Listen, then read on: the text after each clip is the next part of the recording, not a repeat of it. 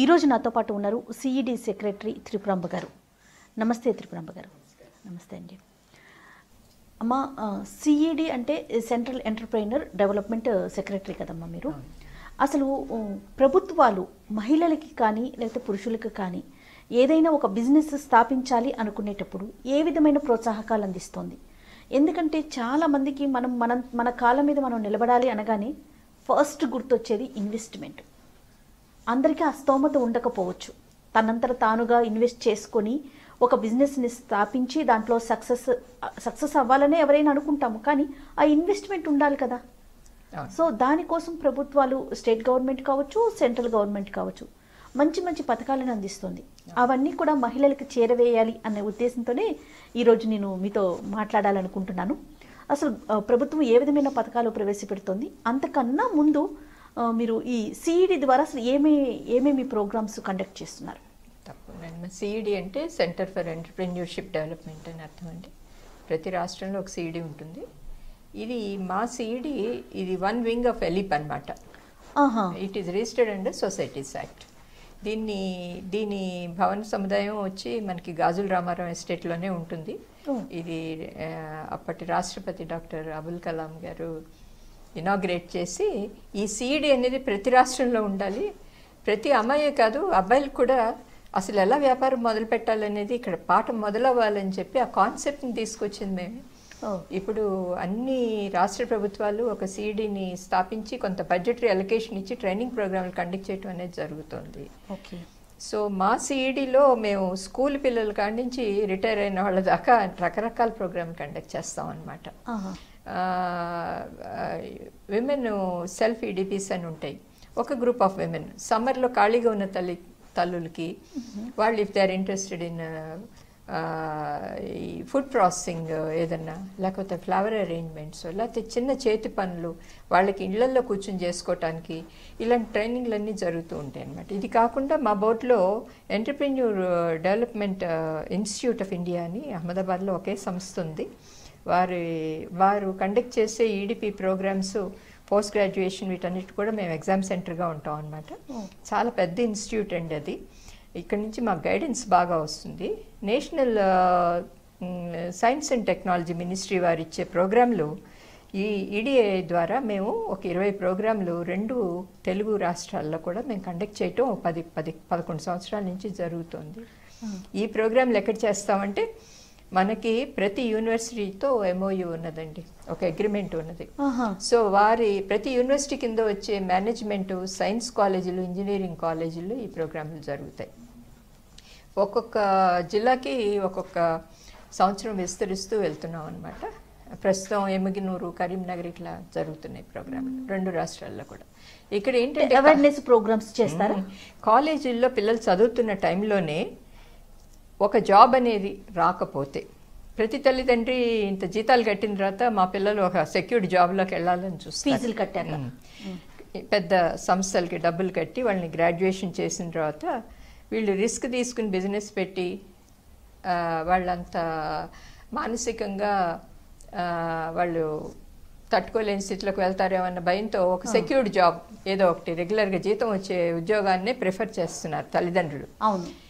అందరికీ ఉద్యోగాలు వచ్చే పరిస్థితి లేదు. మన ప్రధానమంత్రి గారు మన నాయకులందరూ పదే పదే చెప్తున్నారు. దేశమంతా యూత్ అని.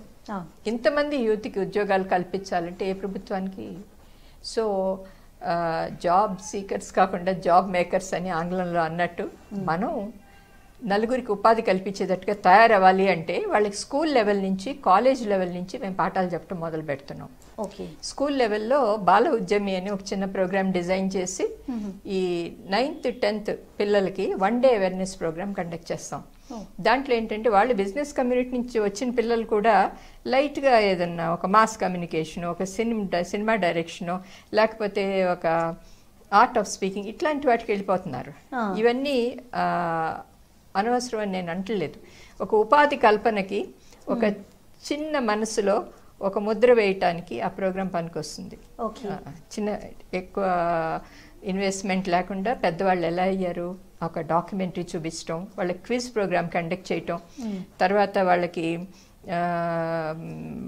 ఆన్ హ్యాండ్ ఇన్ఫర్మేషన్గా మా ఇండస్ట్రియల్ ఎస్టేట్లో వాళ్ళని టూర్కి తీసుకెళ్ళటం తర్వాత స్కూల్ పిల్లల్ని. స్కూల్ పిల్లల్ని. ఆ రోజంతా వాళ్ళు మాతో గడుపుతారు. తర్వాత వాళ్ళు ఒక ప్రాజెక్ట్ని స్కూల్కి సబ్మిట్ చేస్తారు. వాళ్ళ అనుభవాల్ని. దీంతో ఏమవుతుందంటే వాళ్ళ చిన్న మనసులో ఒక బిజినెస్ ఐడియా ఉంటే అది అక్కడ స్థిరపడటానికి అవకాశం ఉంది. ఈ. విధంగా మేము స్కూళ్ళని మోటివేట్ చేయడానికి ప్రయత్నిస్తున్నాం. తర్వాత నెక్స్ట్ లెవెల్ వచ్చేసరికి కాలేజెస్. కాలేజెస్లో ఎక్స్క్లూజివ్ సైన్స్ గ్రాడ్యుయేట్స్ అంటే బిఏ. బిఎస్సి బీకామ్ చెప్తున్న కాలేజీల్లో కూడా అనుబంధ ప్రోగ్రాంలు ఉన్నాయి. వాటికి తగ్గట్టుగా డిజైన్ చేస్తాం. ఇప్పుడు మనకి ఈడిఏ నుంచి వచ్చే ప్రోగ్రామ్ అంటే రెండు రోజులు ఎంటర్ప్రెన్యూర్ అవేర్నెస్ క్యాంప్స్ అని ఉంటాయి. ఓకే. అందులో పిల్లలకి ఏం చెప్పడం జరుగుతుందంటే ఒక అనుభవం ఉన్న ఎంటర్ప్రెన్యూర్ వచ్చి అడ్రస్ చేస్తారు తర్వాత బ్యాంకర్స్ వచ్చి అడ్- అడ్రస్ చేస్తారు ఎన్ని స్కీమ్లు ఉన్నాయి ఎలా పెట్టొచ్చని. కాలేజ్ లెవెల్లో ఎవరైనా ఒకటి సొంతగా లేకపోతే ఫ్యామిలీ బిజినెస్ ఉన్న పిల్లలు కూడా ఇంకొంచెం డబ్బు యాడ్ చేసి మేము ఎట్లా తల్లిదండ్రులకు తోడ్పడాలి ఇలాంటి ఐడియాస్ ఉన్న పిల్లలందరికీ ఆ ప్రోగ్రాంలు చాలా ఉపయోగపడతాయండి ఓకే. తర్వాత ఇప్పుడు ప్రస్తుతం ఉన్న ధోరణిలో కేంద్ర ప్రభుత్వం ఎంకరేజ్ చేస్తున్న అనేక స్కీముల వలన ఇంక్యుబేషన్స్ అనేవి యూనివర్సిటీ లెవెల్లో కాలేజెస్ లెవెల్లో మొదలు పెడుతున్నారు. అంటే వాళ్ళు ఫైనల్ ఇయర్కి వచ్చేసరికి ఆన్ హ్యాండ్ ల్యాబ్స్ ఉంటాయి. అక్కడ వీళ్ళ ఐడియాస్ని కన్వర్ట్ చేసి ఆ లెక్చరర్స్తో గైడెన్స్ తీసుకుని దాన్ని ఒక బిజినెస్ ప్లాన్గా పిల్లలు ఆల్రెడీ కన్వర్ట్ చేసుకుంటున్నారు. ఓకే సో కాలేజ్ లెవెల్లో అలా చేసుకోవటానికి అదొక అవకాశం ఉంది కాబట్టి ఎంబీఏ ఇంజనీరింగ్ కాలేజెస్ని ఎక్కువ టార్గెట్ చేస్తున్నామండి. మేము వెళ్ళి అడ్రస్ చేస్తాం వాళ్ళని. చేసిన తర్వాత వాళ్ళు కూడా వస్తారు. వాళ్ళకి కావాలంటే ఎక్స్క్లూజివ్ ప్రోగ్రామ్ తర్వాత వాళ్ళ లెక్చరర్స్కి ఈ పిల్లల్ని ఎలా కూడా? చేయటానికి టీఓటీ అంటే ట్రైనింగ్ ఆఫ్ ద ట్రైనర్స్ అదొక ప్రోగ్రామ్ కండక్ట్ చేస్తాం. లెక్చరర్స్ అందరికీ ఏం స్కీములు చెప్పాలి? పిల్లల్ని ఎలా ప్రోత్సహించాలి అని చెప్పడానికి ఈ లెక్చరర్స్ కూడా ప్రోగ్రాంలు ఇవ్వటం జరుగుతోందండి. ఓకే. ఇది కాకుండా ఒక చాలా అందమైన ప్రోగ్రామ్ మేము చేసేది ఏంటంటే అగ్రికల్చర్ మినిస్ట్రీ కింద మేనేజ్ అనే సంస్థ మన హైదరాబాద్లో ఉన్నది. ఇది దేశం మొత్తం మీద polytechnic degree masters agriculture related agriculture agriculture related సైన్సెస్లో చేసిన పిల్లల్ని తీసుకొచ్చి అరవై రోజులు రెసిడెన్షియల్ ప్రోగ్రామ్ ఫ్రీగా ఇస్తాం. ఓ. ఒక రిజిస్ట్రేషన్కి మాత్రం ఫైవ్ హండ్రెడ్ తీసుకుంటారు. వాళ్ళు అరవై రోజులు మా దగ్గరే ఉంటారు. ఓకే. దీంట్లో కంప్లీట్గా technical side of the farming అనమాట మన మన రైతులు ఏం సఫర్ అవుతున్నారు? Hmm. మనకి ఏం ఉత్పత్తులు అవుతున్నాయి మన జిల్లాల్లో? Hmm. దానికి ఎట్లా తోడ్పాటు లేదు? మనం ఏ యాక్టివిటీ తీసుకుంటే అదొక ఉపాధిగా నాకు అవుతుంది నేను డబ్బు సంపాదించుకుంటాను. మన ఊరు ఎలా బాగుపడుతుంది? ఎస్ సూపర్ ఆదిలాబాద్ దగ్గర నుంచి తీసుకుని నిజామాబాద్ తీసుకుంటే ఆదిలాబాద్లో సోయాని ఎన్ని రకాలుగా కన్వర్ట్ చేయొచ్చు? నిజామాబాద్ వస్తే మన మొక్కజొన్నలన్నీ బాంబే వెళ్ళికి ఎలాగ ఎందుకు అవ్వాలి? Hmm. అటుకులు దంచే చేతులకి కాన్ఫ్లెక్స్ చేయటం రాదా మన అమ్మాయిలు మోటివేట్ చేసుకుని చిన్న చిన్న పరిశ్రమలు ఎలా పెట్టుకోవాలి? ఇది కాకుండా అగ్రి క్లినిక్స్.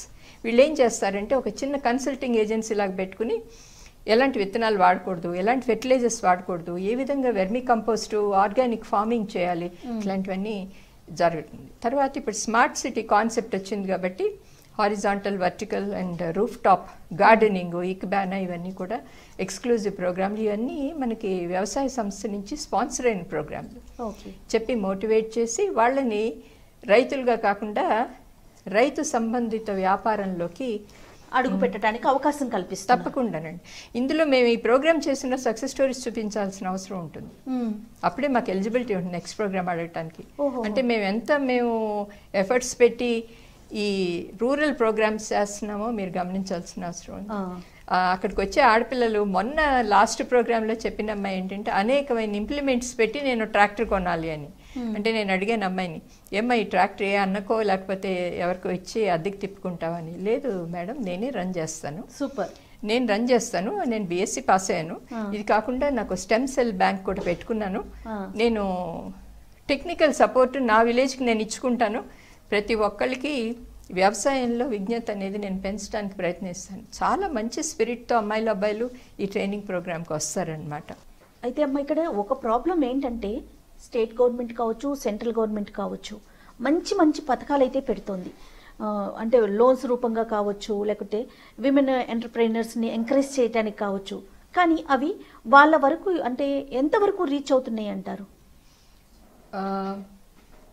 ఇప్పుడు మన టార్గెట్ ఎలా ఉండాలంటేనండి ఒక ఒక ఉపాధి సొంతగా చేయాలి అనుకున్న అమ్మాయిలు పట్టణాల్లో ఉన్నారు.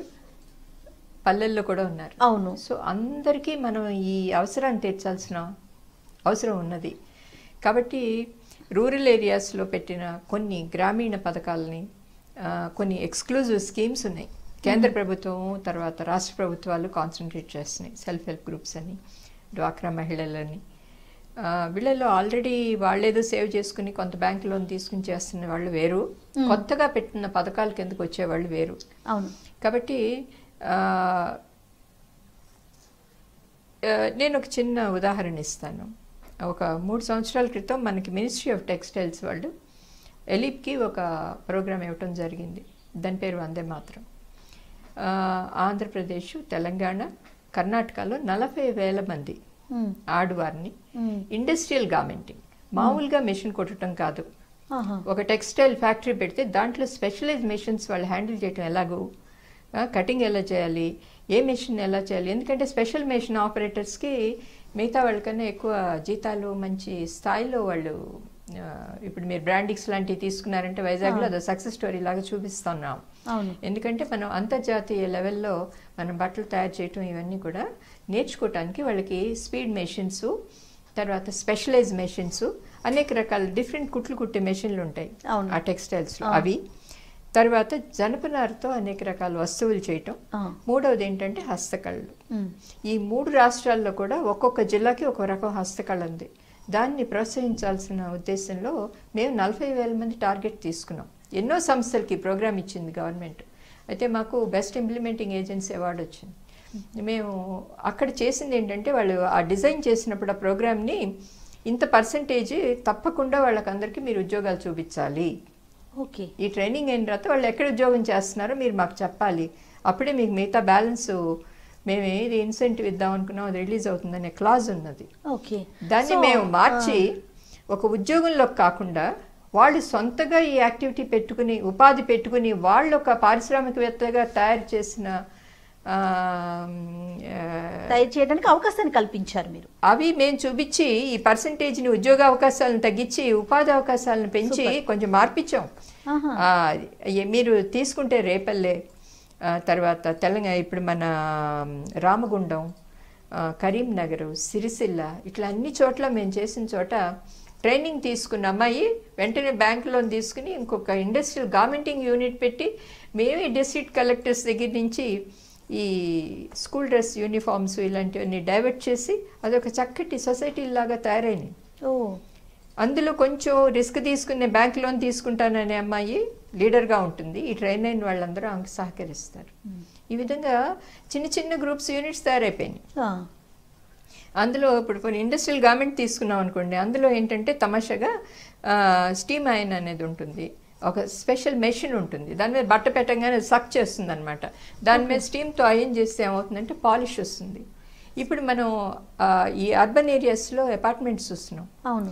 ఒక వాచ్మెన్ భార్య ఇస్త్రీ చేస్తూ ఉంటుంది. మన బట్టలన్నీ అపార్ట్మెంట్స్లో అక్కడ ఇస్తూ ఉంటాం. ఆ, అమ్మాయికి బొగ్గులేసిన తర్వాత అయిపోతే నువ్వు అర్జెంటుగా ఏదైనా ఒక ఐటెం చేయమంటే రేపే చేయగలనని చెప్తుంది. తర్వాత వాళ్ళకి ఇక్కడ రిస్ట్ ఎముకలు దెబ్బతినే. తర్వాత బొగ్గులు కొనుక్కోవటం. ఇట్లాంటివన్నీ లేకుండా ఈ స్టీమ్ అయిన కనుక ఇస్తే మీకు ఆ టేబుల్ను ఆ సెట్ అంతా కలిపి ఒక నలభై ఐదు యాభై వేలలో వచ్చేస్తుందండి. అది అసలు బ్యాంక్ లోన్ కూడా అసలు అపార్ట్మెంట్లో ఉన్న వాళ్ళు తలా ఒక ఐదు వేలు ఇచ్చినా వాళ్ళు తీర్చేసుకుంటారు. ఓకే. సంవత్సరం లోపల. ఇవన్నీ చిన్న చిన్న ఐడియాస్ అండి. ఇవన్నీ కూడా ఇంప్లిమెంట్ చేసాం. ఈ మోడర్నైజ్డ్ వాషింగ్ ఈ నదుల్లో ఉతకటం బట్టలు మీరు వెళ్తుంటే కాలువల దగ్గర అది ఉతుకుతా ఉంటారు. ఇవన్నీ మాన్పించేస్తున్నాం స్లోగా. మా ఎలిప్ తరఫు నుంచి మేము అడాప్ట్ చేసుకున్న విలేజెస్లో కూడా ఒక చిన్న washing units industrial washing units తర్వాత ఈ అయన్ చేయటం ఇవన్నీ చేస్తుంటే ఏమవుతుందంటే నీరు వేస్ట్ అవట్లా. తక్కువ సాఫ్ట్నర్స్తో మంచి అంటే మురికి తొందరగా వదలటం మరకలు వదలటం.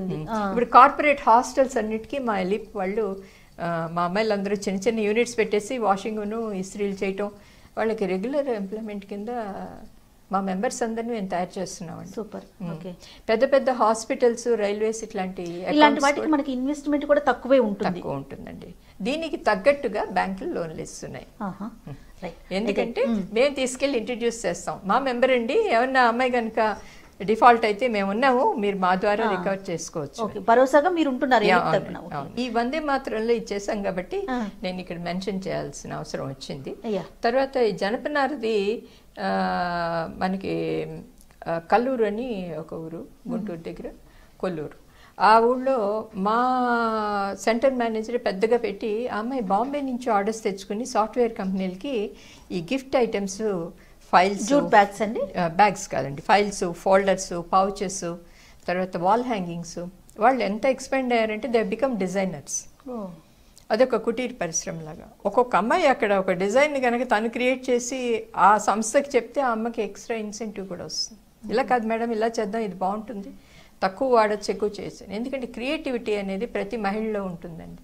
దాన్ని మనం బయటికి తీసుకొచ్చే అవకాశాన్ని కలుగజేయాలి. ఆమె సొంతంగా చేసుకున్న ఒక గ్రూప్ లాగా అందరు కలిసి చేసిన వీటిని ప్రోత్సహించాల్సిన అవసరాలు చాలా ఉన్నాయి.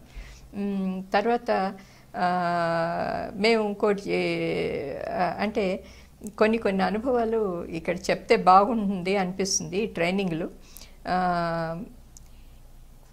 ఈ ఈ ఇప్పుడు ఎంఎస్ఎంఈ అనే ఒక ప్రభుత్వ మంత్రిత్వ శాఖని విడగొట్టి కేంద్ర ప్రభుత్వం స్కిల్ డెవలప్మెంట్ ఒక మంత్రిత్వ శాఖ కొన్ని ఫండ్స్ దీంట్లోంచి డైవర్ట్ చేసి దానికి ఇవ్వటం జరిగింది. స్కిల్ డెవలప్మెంట్ అంటే ఏంటి? ఒక మనిషి ఒక ఉద్యోగం చేయకుండా ఒక ఉపాధి తను చేసుకోవాలంటే ఆ పనితనం తనకి రావాలి. ఫర్ ఎగ్జాంపుల్ అమెరికా ఉన్నది. మీరు ఫ్యాక్టరీ కొన్నారనుకోండి కొనేసినంత మాత్రాన్ని మీకు లైసెన్స్ ఇవ్వరు. మీకు అందులో ఒక సర్టిఫికెట్ ఉండాలి. సోప్స్ తయారు చేసే ఫ్యాక్టరీని మీరు కొన్నారనుకోండి. ఆ కొన్నారంటే సోప్స్ తయారు చేయడంలో మీకు సర్టిఫికెట్ ఉండాలి. అదేవిధంగా ఆ కాన్సెప్ట్ని ఇండియాలో కూడా తీసుకొస్తున్నాం. ఇప్పుడు వాళ్ళు చేసే వ్యాపకంలో వాళ్ళకి ట్రైనింగ్ అయినట్టుగా ప్రభుత్వం ప్రూఫ్ అడుగుతోంది. చిన్న చిన్న అప్లికేషన్లో కూడా ఈడిపి ఎక్కడ తీసుకున్నావు అనే కాలం ఉన్నది. ఓకే. కాబట్టి ఈ సిఈడి లాంటి సంస్థలు నోటిఫైడ్ ఏజెన్సీస్ ఒక సర్టిఫికేట్ ఇవ్వటం అనేది చాలా అవసరం. కాబట్టి వీళ్ళందరినీ కూడా వీళ్ళకి లోన్స్ వచ్చిన తర్వాత బ్యాంకులు మేము ఎస్ఎల్బిసిలో రెండు ప్రభుత్వాల్లో అటెండ్ అవుతామండి నోటిఫైడ్ అసోసియేషన్ కింద. అక్కడ మేము లెటర్స్ ఇచ్చామన్నమాట. మీరు ఏ బ్యాంక్స్ అయినా సరే ఫలానా జిల్లాలో ఇన్ని లోన్స్ ఇస్తున్నారంటే చెప్పండి వాళ్ళకి రెండు రోజులు మేము ఈడీపీ ప్రోగ్రామ్ కండక్ట్ చేసి ఏ విధంగా వాళ్ళు మనీ మేనేజ్మెంట్ చేసుకోవాలి బ్యాంకులో టర్న్ ఓవర్ ఎలా చూపించాలి వచ్చిన డబ్బంతా కట్టి తర్వాత తీసుకుని వాడటం దీనికి ఎక్కువ చదువు అవసరంలా వాళ్ళకున్న జ్ఞానాన్ని కొంచెం ఇంప్రూవ్ చేసి భద్రతగా వ్యాపారం ఎలా చేసుకోవాలనేది చెప్పడం చాలా అవసరం. ఎస్ ఎస్ సో దానికి సంబంధించి కూడా మీరు ఒక ట్రైనింగ్ ట్రైనింగ్స్ ఇస్తాం. ఈడిపి ట్రైనింగ్లు ఒక రెస్పాన్సిబుల్ వ్యాపార అసోసియేషన్ లాగా మేము ప్రవర్తించి ప్రభుత్వానికిను ప్రజలకి సహకరించడానికి ప్రయత్నం చేస్తున్నాం. రైట్ కాకపోతే అది ప్రజల్లోకి వెళ్ళటమే తరువాయి. ప్రజల్లోకి బాగానే వెళ్తోందండి. ఎందుకంటే రిజర్వ్ బ్యాంక్ ఆఫ్ ఇండియా కూడా ఈ మధ్య టౌన్ హాల్స్ అని ప్రతి జిల్లాల్లో పెడుతోంది. అది ఎవరికి తెలీదు. ఆ టౌన్ హాల్ ఏంటంటే క్రెడిట్ ఆఫీసర్స్ అందరినీ పిలుస్తారు. ప్రభుత్వం ఏదైనా ఒక కొత్త పథకం పెడితే అది ఒక ప్రభుత్వ రంగ బ్యాంకులో హెడ్ ఆఫీస్లో తెలుస్తుంది జోనల్ ఆఫీస్లో తెలుస్తుంది. ఒక బ్రాంచ్ మేనేజర్కి అవగాహన లేక ఎందుకులే రిస్క్ తీసుకుని కొత్తది ఇవ్వటం స్కీమ్ అని. వచ్చిన వాళ్ళని దాని కింద ఆ ఫోల్డ్లోకి తీసుకురావడానికి చనువు చూపించలేకపోతున్నారు. ఎందుకంటే వాళ్ళకి కూడా వర్క్ బర్డన్ ఎక్కువైపోతుంది. కాబట్టి ప్రభుత్వ రంగ బ్యాంకులు ఏం చేస్తున్నాయంటే లోన్లు ఇవ్వటానికి సెపరేట్గా సెల్స్ పెట్టుకుంటున్నాయి. అప్లికేషన్స్ అన్ని ఒక చోట ప్రాసెస్ చేసి పలానా బ్రాంచ్కి ఇది పలానా బ్రాంచ్కి ఇది అని పంపటం. వీటన్నిటిని మనం తట్టుకోవాలంటే ఒక ఏమీ తెలియని అమాయక పౌరుడిగా ఒక లోన్కి అప్లై చేయాలంటే ఎట్లా? ఎవరిని మనం సంప్రదించాలి? బ్యాంక్కి వెళ్తే మనం పలకరించట్లేదు ఎవరు. ఇలాంటి నిరుత్సాహపడకుండా అసలు ఏమేమి స్కీమ్లు ఉన్నాయి? వీటి అవగాహన అనేది పేపర్ల ద్వారా కానీ లేకపోతే రిజర్వ్ బ్యాంక్ ద్వారా కానీ ప్రభుత్వం ద్వారా కానీ చేయటం చాలా అవసరం ఖచ్చితంగా. అందులో ప్రయత్ ఆ ప్రయత్నంలో భాగంగానే. ఈరోజు సుమన్ టీవీ ద్వారా ఈ కార్యక్రమం చేపట్టడం జరిగిందమ్మా. ఖచ్చితంగా ఈ అవేర్నెస్ కల్పించడమే మన ఉద్దేశం. సో రాబోయే వీడియోలో మనము ఒక్కొక్క దాని గురించి ఒక్కొక్క లోన్ గురించి అవగాహన కల్పించే ప్రయత్నం చేద్దామండి. థ్యాంక్ యూ సో మచ్ అమ్మా. నమస్తే. నమస్తే. ఈ వీడియో కనుక మీకు నచ్చినట్లయితే లైక్ చేయండి షేర్ చేయండి. మరిన్ని వీడియోస్ కోసం